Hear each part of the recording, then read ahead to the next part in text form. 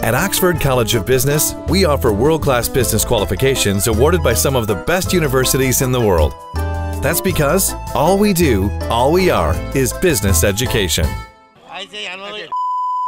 At a discussion held in his party office at Kandana on the 8th of this month, Minister John Amaratunga lost his temper when a reporter questioned him about garbage dumped at Kerawalapitiya. Today, Minister Amaratunga held a media briefing on the matter. It was a private discussion. I did not call the media to it.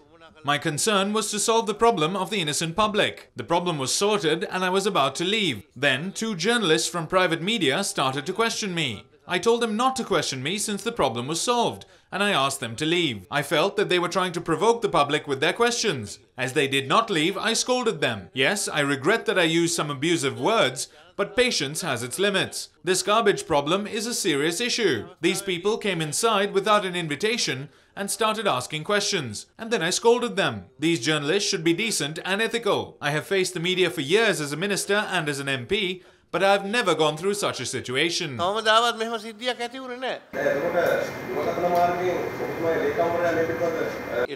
He didn't invite anyone. He gave me a written document saying that he did not invite anybody.